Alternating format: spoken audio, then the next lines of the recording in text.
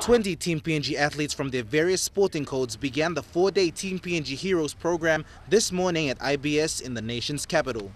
Yeah, so the PNG Olympic Committee um, has decided to embark on this Team PNG Hero program. We see it as our athlete ambassador program.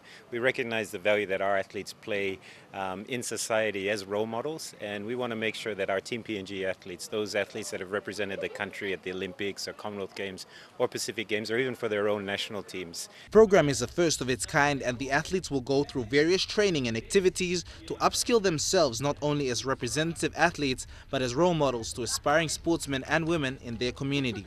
The program is looking at developing their capacity around basic skills, life skills, but also skills around presenting, public speaking, and that will hopefully provide them with opportunities to become role models, to become uh, positive contributors to society.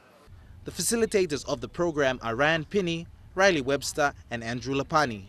The program is also aimed at building life skills, not only as competing athletes, but also when they retire three of us that are facilitating the program. Uh, Ryan Pini, of course, everyone's familiar with Ryan.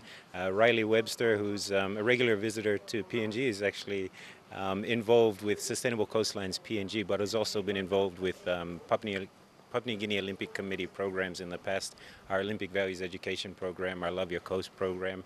Um, so he has some expertise around community engagement and presenting and public speaking, and then uh, myself as well. The Team PNG Heroes program will end on Friday, and the facilitators are hopeful that the athletes will be able to learn and take in as much as they can. Dion Kombeng, National MTV Sports.